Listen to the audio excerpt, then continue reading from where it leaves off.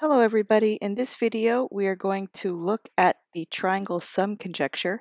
And this is a conjecture that a lot of people are already familiar with and have used. And what it says is that if I add up the three angles of a triangle, that sum is going to be 180 degrees. And there is a quick way to convince people that this is true by taking any triangle and kind of tearing off the angles and when you, when you line the angles up, you form a straight angle with all three of those angles, right? And so it's a quick way to convince people that the sum of the angles of a triangle have to be 180 degrees. Now that's not a proof though. A proof, remember, is a logical argument um, that uses deductive reasoning. So it's not based on my observations, it's not based on me making conjectures. It's got to be based on things that I know are true, like definitions, postulates, previously proven conjectures, and something very important that we haven't been able to do until now, and that is add in extra information by constructions. So if I asked you right now just to prove that those three angles, when you add them together, are going to equal 180, like where do you start? Like I don't I don't have much. All I have is a triangle, three angles measured, uh, three angle. Sorry, they're not even measured. Three angles marked, and three vertices. So what do I do? Um, well, I'm going to have to add more information. And anything that I can construct with a compass and a straight edge, I can add in to help me uh, prove what I'm trying to prove. Okay, so I'm going to think back and uh, do I have any conjectures that have angles adding up to 180 degrees. And I do. I have uh, supplementary angle definitions, right? And I have linear pairs. Now, there's problems with both of those because supplementary angles and linear pairs require two angles, and what I have are three. But I can remember one of the things I can construct is the sum of two angles. So what I can do is I can add these two angles together to create a, another angle, and then this angle and that angle are going to be supplementary linear and linear pairs. Um, so I have to somehow get three angles, the three angles of the triangle, lined up like that somewhere in this drawing. And so basically I'm trying to move these angles up here. And I'm like, oh man, how do I do that? I just can't like drag them up there. I have to think about the things I can construct. Altitudes don't help, medians don't help.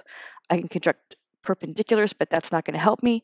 Oh, but wait, there is something I can construct that adds a whole bunch of angles into my drawing, and that's going to be a set of parallel lines. So if I think of AB, there's a line AB and the point C, there's going to be a line parallel to AB that goes through point C. That's one of the things that I can construct. Now, I'm not actually going to get my compass out and actually do the construction because uh, that's going to make the video like five times as long. So instead, I'm just going to like imagine that I constructed this line 1 that is parallel to AB. Okay, so there's a line that has AB, and that's parallel to line 1, and I'm going to extend it out just a little bit to accentuate the parallelness of, of those lines, right? And if you remember from parallel lines, I have uh, a, a series of angles here that are congruent. If I think of the sides of the triangles as transversals, right?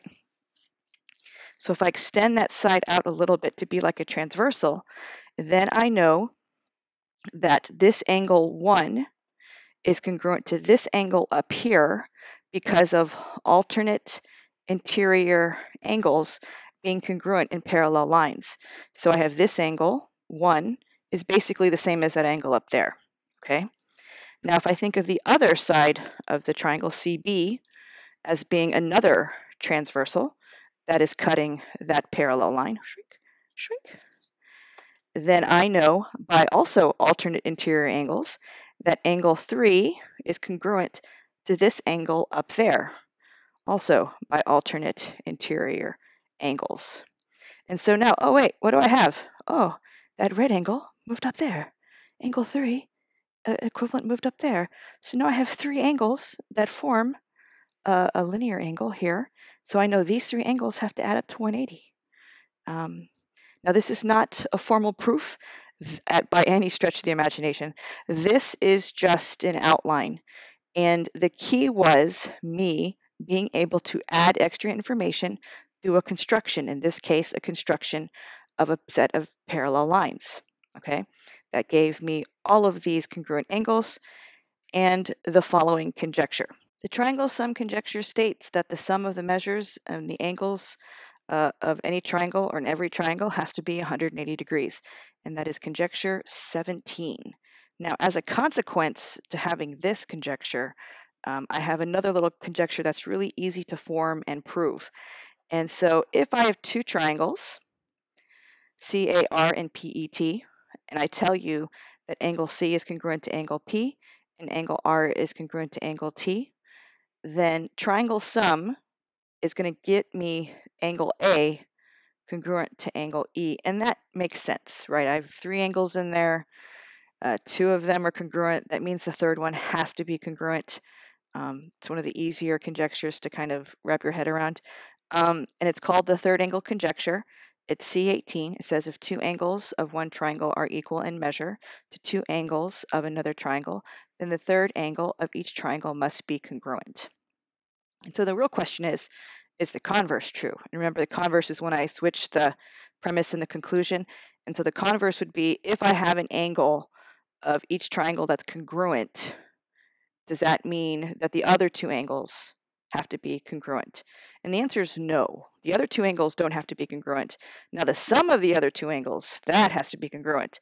But it doesn't tell me anything about the actual individual angle measures other than the one that was uh, congruent. So the converse is uh, true. No, it is not true.